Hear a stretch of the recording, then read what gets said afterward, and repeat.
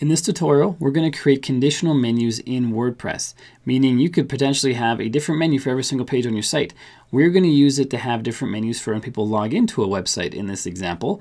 And I give you all the code. All the code is going to be on my blog. You can copy and paste it and use it on your site. If you have any questions or comments for this tutorial, please leave them down below. I try to answer every single one.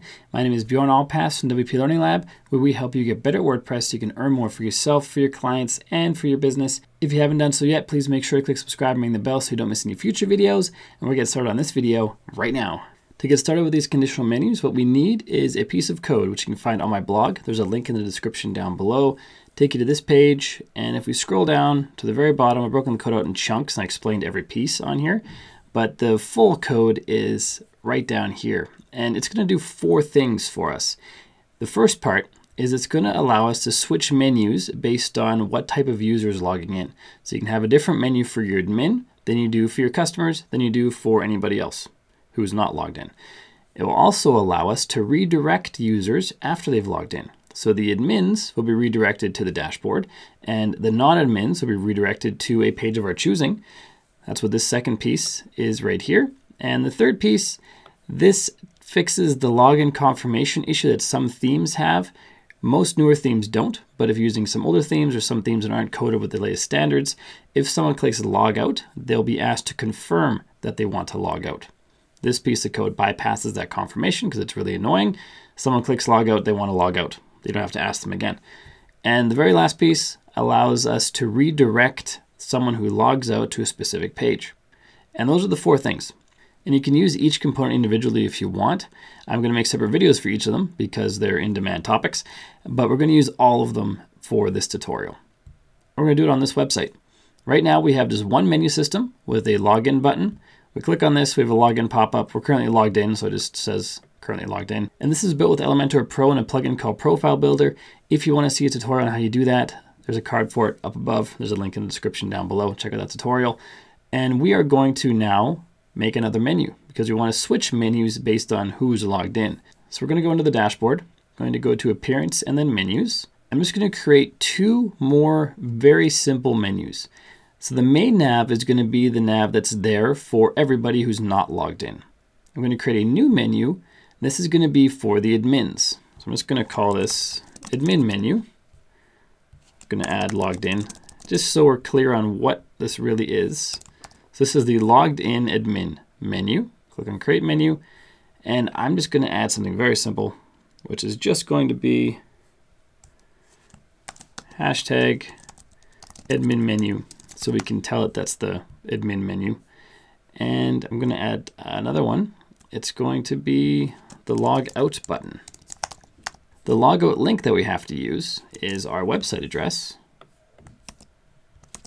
and followed by wp-login question mark action equals logout. You can paste this snippet from the description down below. It's also in the code we can see it right here. It's a comment, which means it won't actually be executed, but you can just copy and paste it from here as well if you're using this code. And that will create a logout link. So we're going to add that to the menu. And then we will save this menu. And then we're going to create one more menu for logged in customers. Going to close some of these notices here. And we're going to make this menu pretty much the same as the one we have, not here, but on this website. It's going to have home, about, contact, Elementor Pro, and then log out. So let's click create new menu, logged in customer menu. So I'm going to call this, click on create. And we're going to have services about contact Elementor Pro. Let's rearrange these to what we have.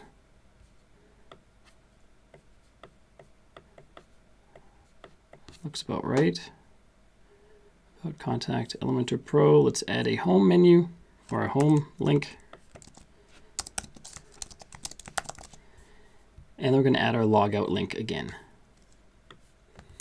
which is our website domain name, wp-login question mark action equals logout. And let's call it logout. Add to menu, let's put home as the first one. Click on save menu. The reason I did it this way I wanted to have it be almost like this one, which is what you'd normally have. Normally the menu wouldn't be as small as the one we made for the admin. So this is more of a real world example for this menu. And this would be the menu that's shown when a customer is logged in, a non-admin person of your site is logged in. So now we have those two menus created. Now we're gonna go and use this code. Let's copy this code. Let's copy that.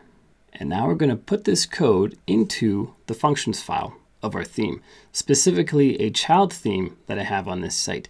If you want to know how to make a child theme, there's a card up above that takes you to a child theme tutorial, and there's a link in the description down below for the same tutorial. It's from a number of years ago, but it still works the same way. And child themes allow you to add code to your theme, the functions file or CSS file, or make edits to template files that are then not overwritten when the parent theme is updated. That's why we use child themes. And child themes really haven't changed all that much in the past I don't know, since they came out years and years and years ago. So that video that's a few years old still works just fine. I'm just going to log into SiteGround so that we can go and edit the functions file for my child theme. Here on the SiteGround cPanel, I have not updated to the new demo or new version of the cPanel yet. Some yours may look a little different if you're using SiteGround. What I'm looking for is the file manager, a place where we can edit the files. You can do this via FTP as well if you're more comfortable with FTP. So open the file area or the root directory for the website Go to WP content and then themes. This is where our child theme exists. If you follow the tutorial I referenced earlier, you have one of these folders as well. And in here, we just have a functions file and a styles file. I'm gonna click on the functions file and click on edit.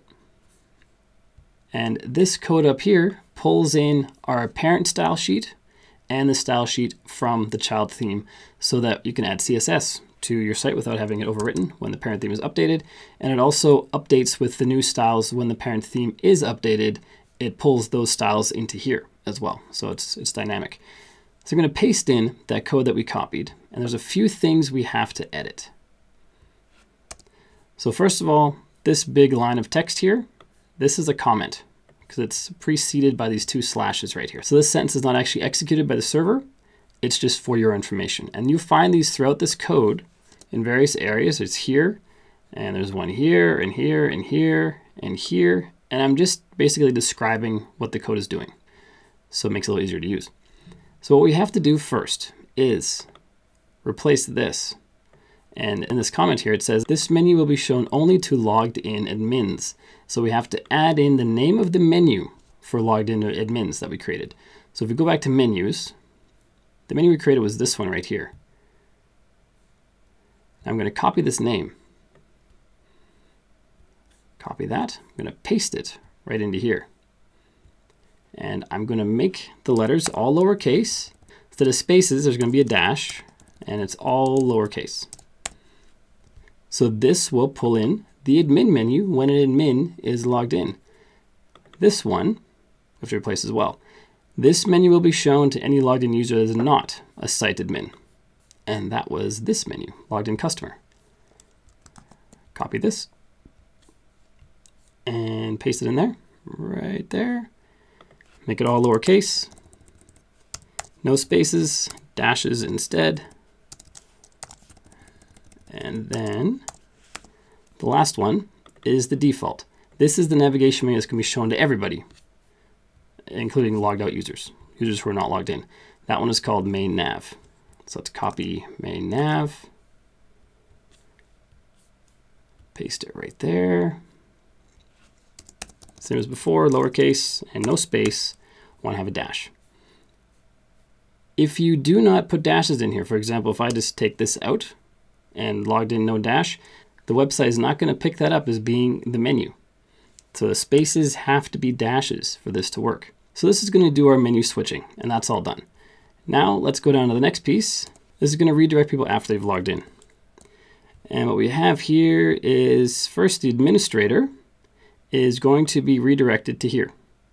So this is the dashboard, and that's where I want them to go. But you can replace that with something else if you want. So you just put the part after the domain name as that location. So if you wanted them to go to the menu page, you would put this in here. Wp-admin forward slash nav-menus.php and that would take them right to the menu creator when they log in. But I just want them to go to the general dashboard, so that's where they go there. For the users, the customers, the non-admin users that log in, they go to a My Account page. And I don't have this page on the site currently, so I'm just going to use a different page. Let's just try the About, see if that's a page. Yeah, that's a page.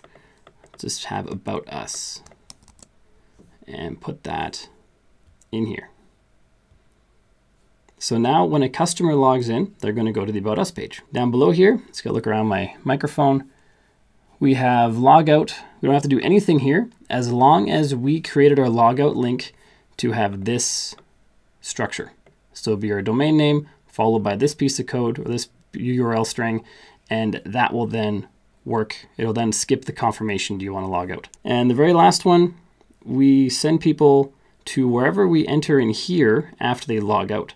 So you can do the same thing as here. You could send them to the About Us page, or we're dynamically inserting the home URL. So if you want them to go to your home page, don't change anything. This will pull your home URL from your website and place it in here, and that's where people will go after they log out.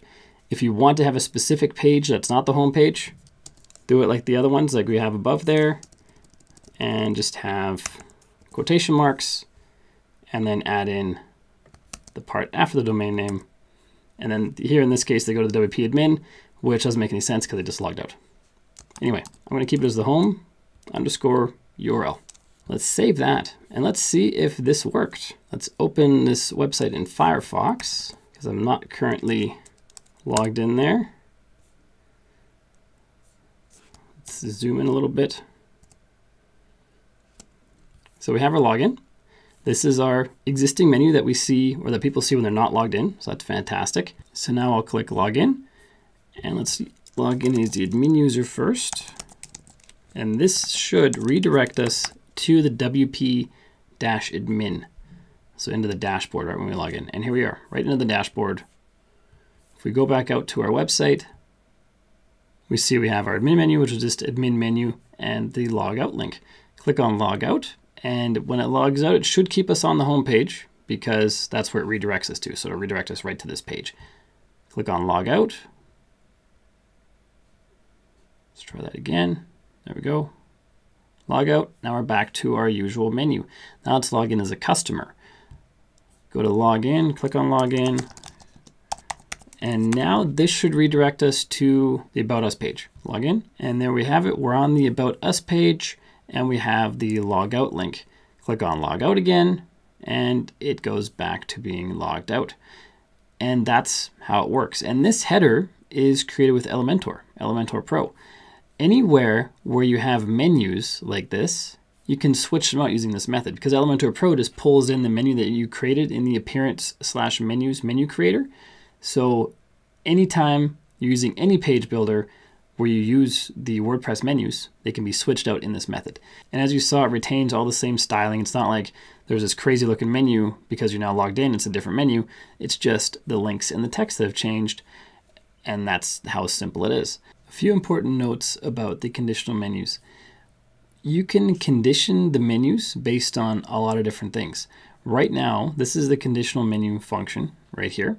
And right now we have it conditioned so that if a user is logged in and the user can be administrator, then we show this menu. Or else if is also another way of saying or in normal language. Or if a user is logged in and they are not, this little exclamation mark means not an administrator, then show this menu.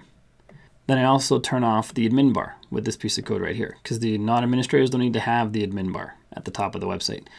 And then for the regular menu, we just have this. But those conditions, there are lots and lots of conditions you could potentially use to show different menus. If we look up WordPress uh, conditional logic and go to the WordPress Codex, I'll put a link to this page in the description down below. But these are all the different things that we can use to condition our menus. We can have a menu appear if it's the home page. So you can have a different menu just for your home page, or the front page, which you set under settings and then reading, or the blog page, or the admin area, not the admin user, but if it's the admin dashboard. Uh, let's see, if it's a post, you can have it for all posts, so you have a different menu for all the posts. You have a different menu for Using this, you can have a different menu for all the posts. Using this, you can have a different menu for, in this case, just post ID of 17 or any post that you want. You can have a separate menu just for an individual post, or you can base it on the title, or you could have it on sticky posts. They can have different menus, or on archives like categories and tag pages. Uh, the pages can have different menus. Page templates, get the idea. Scroll through this page. There's a whole lot of different ways you can condition your menu appearance using this piece of code. So you just replace this if area. So if you wanted to have, let's take an easy one, a different menu if it's the home page, let's copy this. Copy, come in here, replace this whole thing. Let's delete that. Now we have if open bracket close bracket and we paste in is home. You don't need these extra spaces just for readability, for human readability. If it is the home page, then show this menu. That's how easy it is. I'm going to undo that. So we're back to how we were. But that's how we can add conditional logic, change conditional logic. You can have more else ifs. You can go unlimited else ifs. So you could have if this condition, else if this condition, else if this condition, and on and on and on. Just copy this right here, start at the else if, and to the closing curly bracket, just copy that. Just come down here and don't overwrite the else. Paste the else if in there. Let's add our spaces back. Now we have two else ifs. We can have a different condition in here for the second one. Want to add another one, paste it in again. Now we have three, four. You get the idea. On and on. Just make sure, as you saw, I'm very specific about making sure that we don't overwrite any of the curly brackets. Depending on what you remove by accident, it could take down your website. So just make sure that your syntax is correct. And that's really all there is. If you have any questions or comments, just leave them down below this video or leave them on this blog page where you get this code. And if you have any problems, we'll try to figure out what the problem is, figure out how to fix it. Uh, but that is how you use this code to create conditional menus in WordPress based on when users are logged in or logged out. And now check out this tutorial right here where I show you how to create the login pop-up that you saw throughout this tutorial using Elementor and a free plugin. If you have any questions or comments, please leave them down below this video. I try to answer every single one and make sure to click subscribe and ring the bell so you don't miss any future videos. Until next time, my name is Bjorn Allpas from WP Learning Lab. Keep crushing it and I will see you in the next video.